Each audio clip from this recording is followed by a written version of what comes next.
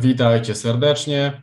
W dzisiejszym filmie będziemy kontynuować serię filmów związanych z budową domu. Dzisiaj y, rozpoczniemy w dość mocnych szczegółach temat związany y, z poszukiwaniami odpowiedniej nieruchomości, odpowiedniej działki. I w tym celu zaprosiłem Sławka Zająca, który zęby zjadł na na, na e, sprawach związanych właśnie z budową domu i w tym e, poszukiwaniami działek. Więc właśnie Sławku, powiedz, od czego moglibyśmy zacząć? Czy, czy e, widz mógłby zacząć, jeżeli chciałby wybudować swój dom? E, cześć wszystkim, e, Sławek Zając, e, prowadzę serwis Jak się wybudować i nie zwariować. Od razu zapraszam na, na, niego. No jeżeli chodzi o poszukiwania i budowę domu, to zacząłbym po prostu od takiego trochę spokojnego zastanowienia się, czego właściwie potrzebujemy. Bo czasami jest tak, że zaczynamy szukać działek, patrząc na różne oferty na, na w internecie, ale tak naprawdę trzeba na początku pomyśleć w ogóle, gdzie chcemy mieszkać, w jakiej okolicy i co w ogóle chcemy e, wybudować. Czyli y, trzeba y, tak uważam, bo ja doświadczenia mam w tym niewielkie, mm-hmm. ale na pewno y, nie może być to działka oddalona o kilkadziesiąt, wie, wiele kilkadziesiąt kilometrów tak, od domu, żeby zgaduję, nie dojeżdżać do pracy codziennie, te 50-100 kilometrów, chyba że ktoś mhm. bardzo lubi, tak, zgaduję, tak, to może być jednym z, wy, z wyznaczników odległość, tak, od obec, obecnej, no, obecnego miejsca życia, nie? E, dojazd do pracy, dojazd do przedszkola, szkoły, jak ktoś ma dzieciaki, to to wie, że te poranne rozwożenie jednak może zabierać wiele cennych minut i, i kilometrów.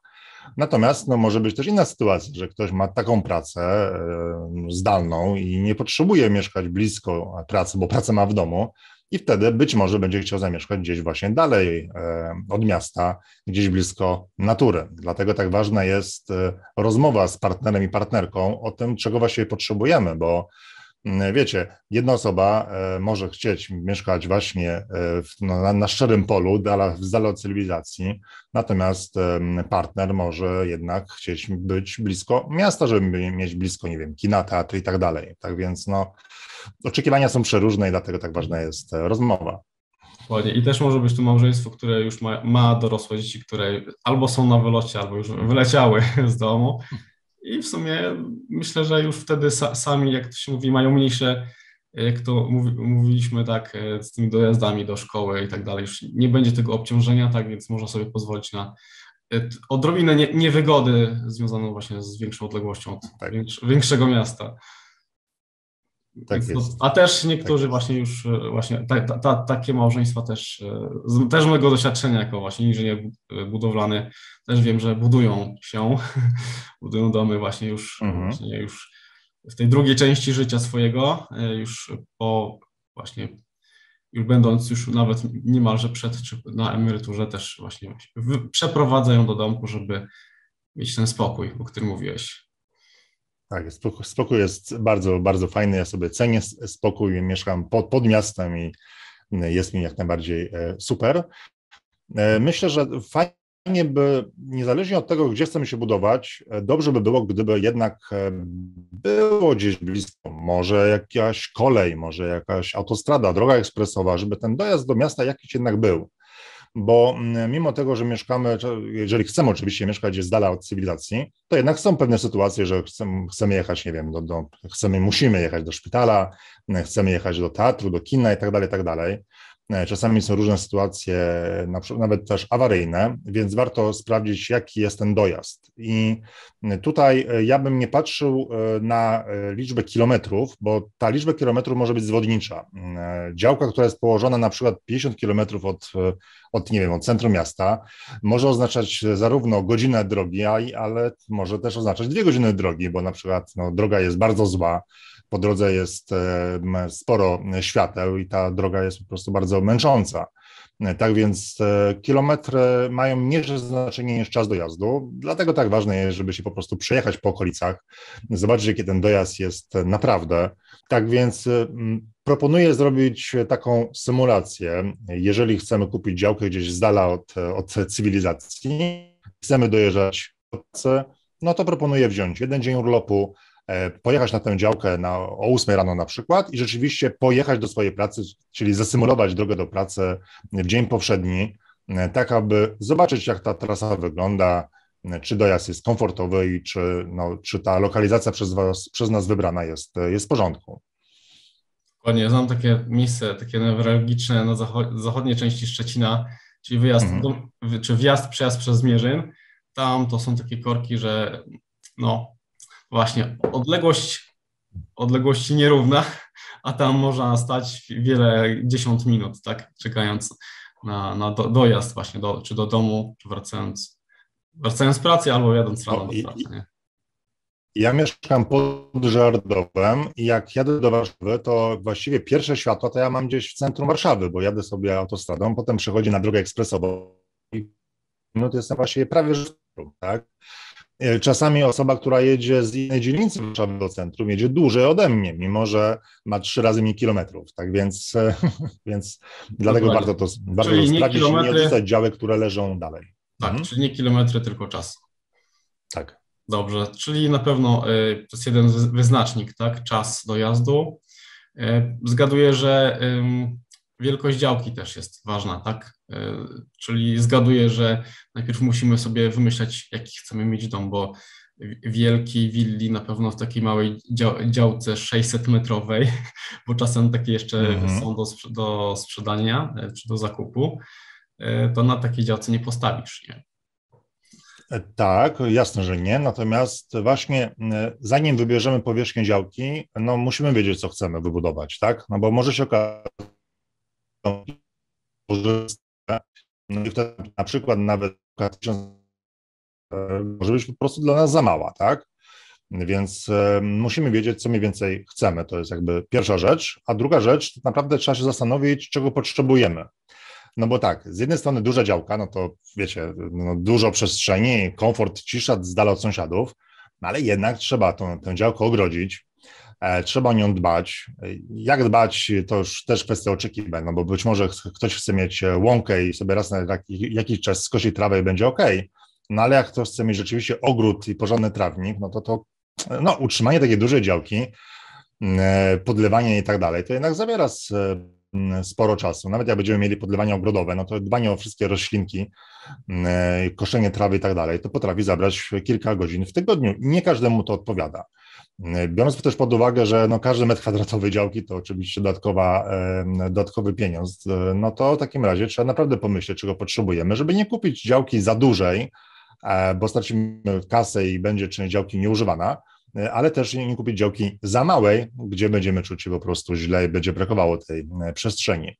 Tym bardziej, że e, podczas uzyski uzyskiwania warunków zabudowy, o czym będziemy mówić w następnych naszych odcinkach, mm. bo zapowi zapowiadałem, że to będzie bardzo długa seria i na pewno z Sławkiem będziemy jeszcze wiele razy rozmawiać. Na pewno właśnie powierzchnia biologicznie czynna musi być odpowiednio duża w stosunku do powierzchni domu na, y, na całej działce, więc to też ma znaczenie, jaką, jaki duży dom chcemy i jaka ta jest wymagana też ta powierzchnia, w cudzysłowie ta zielo, zielona, nie? Mhm. Tak, bo mamy powierzchnię zabudowy, czyli to, ile budynek i zajmuje na działce procentowo i powierzchnię biologicznie czynną, czyli no, e, to jest powierzchnia działki minus tam, gdzie stoi dom, minus podjazdy, kostka brukowa i, i, i tak dalej. Więc to trzeba wszystko wziąć pod uwagę. Tak, tak. Czyli jeżeli powiedzmy, powiedzmy kierujemy się tym, że jest jakaś działka, która ma powiedzmy te 600 czy 1000 metrów, to e, na pewno nie będziemy mogli e, zbudować tego domu, który chcemy, tak, bo musimy mieć jakiś tam procent, tak, powierzchni działki dostępny pod budowę domu i nie możemy mhm. tej, tego, tej wielkości przekroczyć. Tak. Wtedy no będziemy musieli zmienić koncepcję naszego domu. Tak, musimy mieć, bo są dokumenty, o których będziemy rozmawiać następnym razem, czyli tak. plany miejscowe, warunki zabudowy. I zdarzają się sytuacje takie, że mimo tego, że działka jest na przykład duża, w mojej okolicy są działki e, o powierzchni 2000 m2, czyli dosyć duże działki, ale plan miejscowy pozwala na budowę domu chyba o powierzchni bodajże 60 m2, więc to naprawdę bardzo, bardzo małe bo te działki nie są przeznaczone na budownictwo jednorodzinne, a raczej na takie, no nie wiem, bardziej budynki gospodarcze. Więc można się nabrać, kupując dużą działkę, a potem, jak nie sprawdzimy tego, co można wybudować, no to się okaże, że niestety nasz wymarzony dom na takiej działce e, powstać nie może, niestety. E, jeszcze powiem o drogach, bo ważna sprawa. Pewnie wszyscy wiemy, że buduje się centralny port komunikacyjny.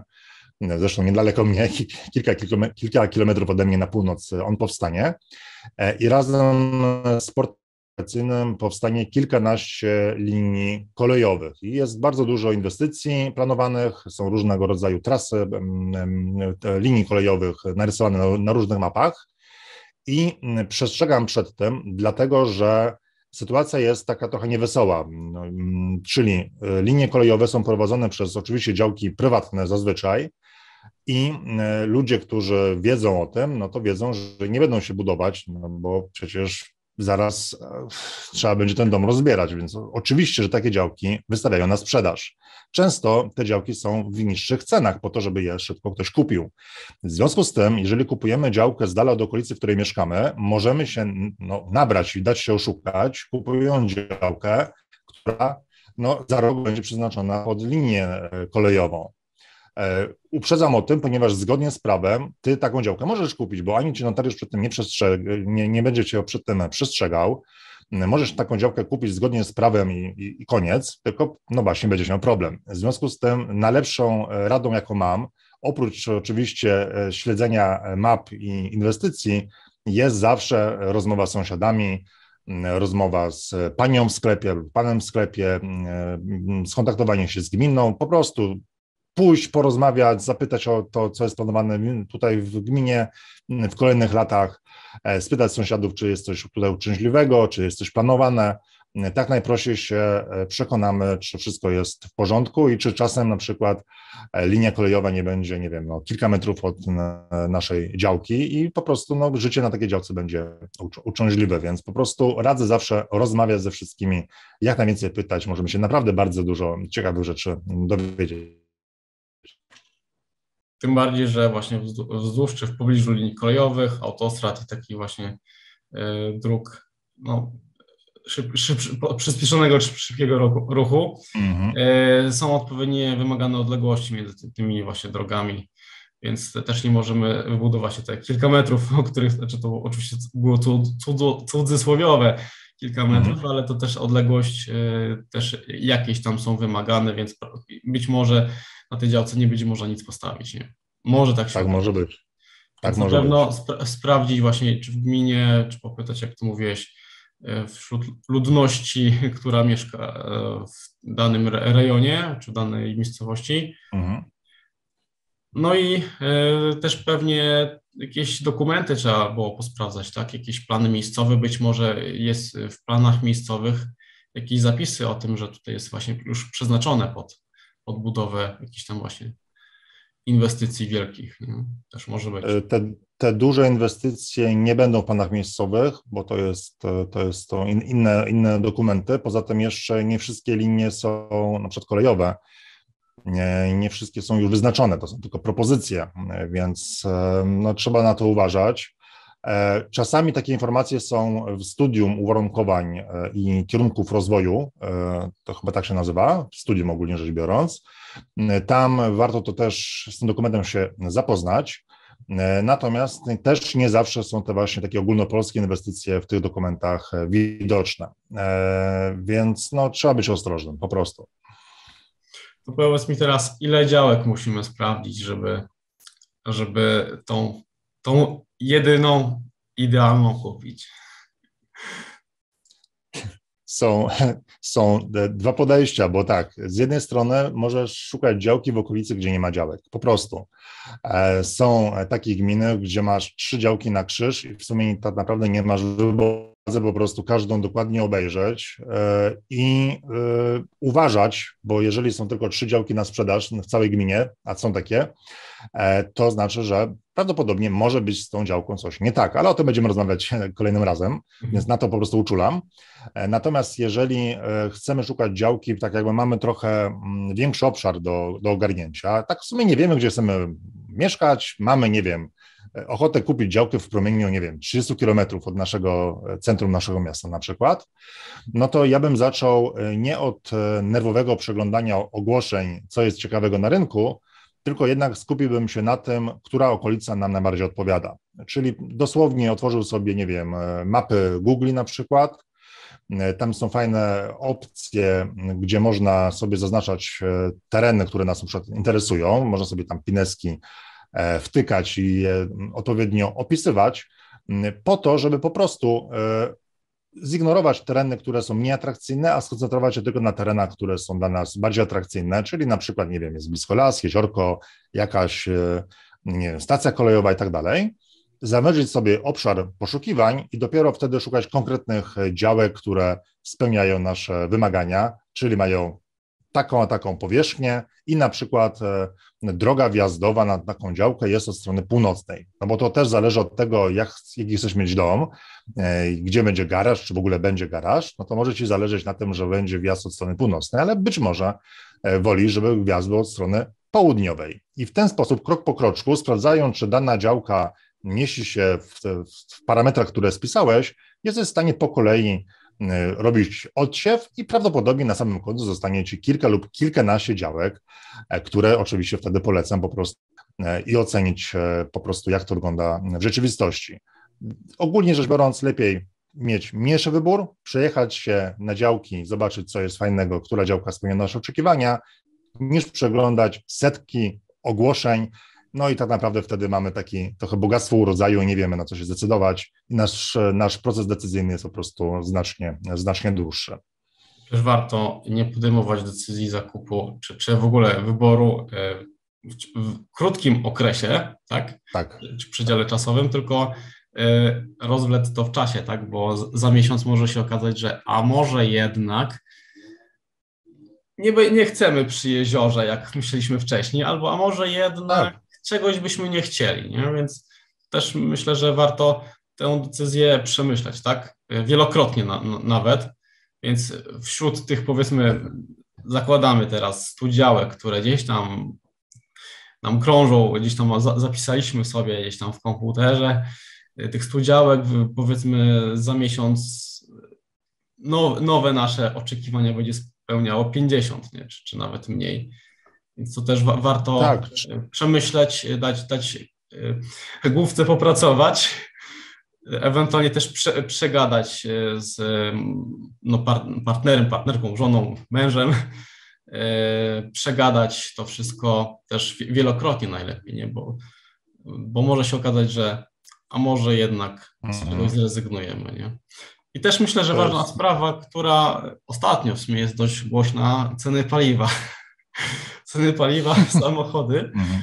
To, co wspominałeś o e, możliwości, o dostępie do komunikacji miejskiej i też właśnie jakieś, nawet te ście, też ścieżki rowerowe gdzieś, powiedzmy w jakichś re, rejonach, regionach też są w pobliżu. Też może warto zastanowić się pod tym kątem, że być może e, poruszanie samochodem będzie to luksusem, tak, do niektórych, za 10 lat może. Więc może, może też pod tym względem e, na to tutaj też te działki szukać, nie? Tak, y, jasne. Jeżeli możemy kupić działkę blisko ścieżki rowerowej, chodników, y, jest oświetlenie, jest komunikacja miejska, gdzieś niedaleko przystanek, to oczywiście rewelacja. Natomiast no, oczywiście no, nie, trudno znaleźć działkę, która pewnie spełni nasze wszystkie e, ma marzenia. No, przykładowo, no, trudno znaleźć działkę, która będzie zarówno blisko lasu i jeziora, ale też będzie blisko komunikacja miejska. Nie mówię, że jest to niemożliwe, ale jest po prostu trudne. E, dlatego tak ważne jest ustalenie priorytetów i tego, na czym nam naprawdę zależy, czyli e, co koniecznie musi nasza działka spełniać, jaka ona musi być, a jakie parametry byłoby fajnie, gdyby działka miała. Czyli przykładowo, e, najważniejsze jest to, żeby było blisko, nie wiem, przedszkole, szkoła i tak dalej, ale fajnie by było, gdyby było niedaleko jezioro. Jeżeli jednak tego jeziora nie będzie, no to okej, okay, trudno, kupimy działkę gdzieś z dala. E, mówię o tym, ponieważ bardzo wiele osób mm, podejmuje pewną decyzję na samym początku szukania działki. Przykładowo, właśnie chcę mieć koniecznie działkę zaraz przy granicy lasu. I ta myśl jest z nimi, mm, z tymi osobami, które szukają działkę przez kolejne miesiące. I dopiero po kilku miesiącach, kiedy nie możemy znaleźć działki, która spełnia nasze wszystkie wymagania, przychodzi taka, taka myśl, że w sumie to niepotrzebnie się upieraliśmy, bo przecież las może być kilometr dalej, no bo możemy tam, nie wiem, dojechać sobie rowerem, e, czy też nawet um, przyspacerować do tego lasu. Dlatego tak ważne jest to, żeby tak czasami po prostu usiąść, chwilę e, pomyśleć jeszcze raz nad swoimi potrzebami i ustalić, co jest bardzo nam potrzebne, a co jest tylko naszym takim trochę może nawet zachcianką, z której możemy e, zrezygnować. I tym akcentem będziemy kończyć dzisiejszą rozmowę. Jeżeli czujesz niedosyt informacji związanych e, z budową domu, za, za, zapraszamy na, na blog, na, na stronę Sławka, a jeżeli na stronie będzie też za mało wiedzy, to Sławek ma kurs. Opowiedz coś więcej o tym. E, zapraszam na stronę jaksiewybudować.pl. E, są teraz tam dostępne dwa kursy, bardzo duże kursy dotyczące właśnie wyboru i zakupu działki oraz odpowiedniego przygotowania do budowy. Krok po kroku przeprowadzam Cię przez cały proces po to, abyś no, kupił wymarzoną działkę i mógł wybudować na kiedy chcesz. Do tej pory skorzystało z obu kursów prawie 800 osób, tak więc dobra, rzetelna wiedza. Mamy swoje forum, gdzie dzielimy się właśnie e, wiedzą i fajnymi kontaktami do wykonawców, tak więc zapraszam do wejścia na stronę, link jest poniżej. Zobacz, co dla Ciebie przygotowałem. I na zakończenie e, jeszcze za chwilę pojawi się taka ikonka, sławka kanału, więc od razu przekierujemy, być może jak Y, sprawy techniczne pozwolą, od razu też przekierujmy y, też ikonką na stronę, więc dziękujemy za uwagę, dziękuję Tobie Sławku i zapraszamy do następnych naszych filmów. Dzięki wielkie. Cześć. Pozdrawiamy. Hej.